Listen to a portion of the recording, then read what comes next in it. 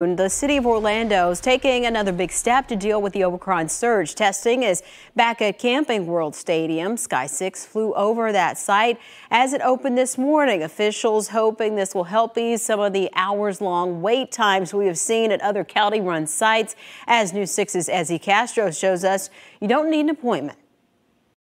A busy day as expected here at the testing site at Camping World Stadium. A lot of people telling us they lined up even before the gates opened. Was it fast? Yes. What time did you get here?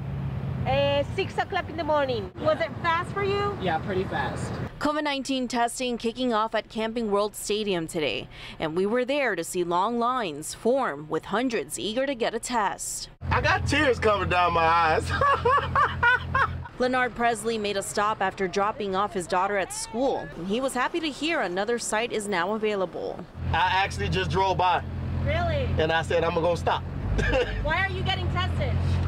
Because I just want to make sure I, am safe. I'm good. The city of Orlando set up the site to try and relieve some of the hours long wait times we've seen at other mass testing sites in Orange County. With eight drive through lanes available, workers here are set to give up to 3,500 tests a day. A relief for Marcos Megan, who started feeling sick over the weekend and came to get a rapid test. It's hard to get tests right now to get appointment for a test. So with they opening this, trust me, it's a blessing. And we appreciate it.